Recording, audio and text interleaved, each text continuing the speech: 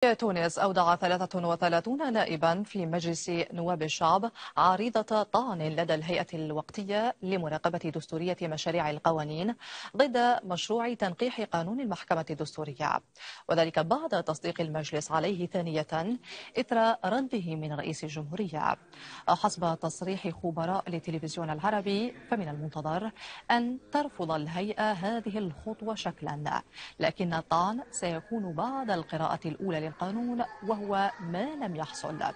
يذكر أن الآجال الدستورية لتصديق الرئيس التونسي على التعديلات تنتهي مساء اليوم.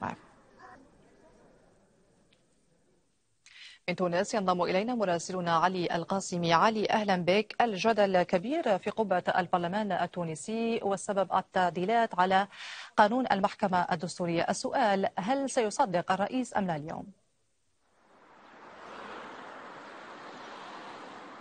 في الحقيقة حسب آخر المعلومات التي وصلتنا أو حسب قراءة خبراء القانون الدستوري للخطوة التي قام بها النواب الثلاث وثلاثون الذين قاموا بالاعتراض على القانون على التنقيحات المدرجة على قانون المحكمة الدستورية.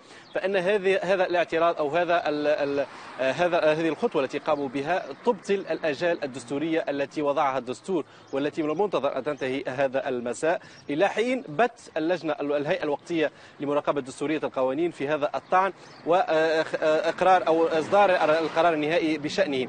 وهنا نحن أمام سيناريوهين اثنين. يعني السيناريو الأول أن هذه اللجنة الوقتية ستقوم بمراجعة أو بمراجعة أو بقراسة بدراسة القانون قانونيا ودستوريا وتسليط الضوء على النقائص الدستورية والاخلال الدستورية فيه من ثم إعادته إلى رئيس الجمهورية الذي سيقوم بإعادته مرة أخرى إلى نعم. مجلس النواب الشعب لدراسته أو إعادة التصويت عليه وتعديله وهنالك أيضا خطوة أخرى يرجح كثير من الخبراء الدستوري في القانون الدستوري الذين تحدثنا معهم منذ نعم.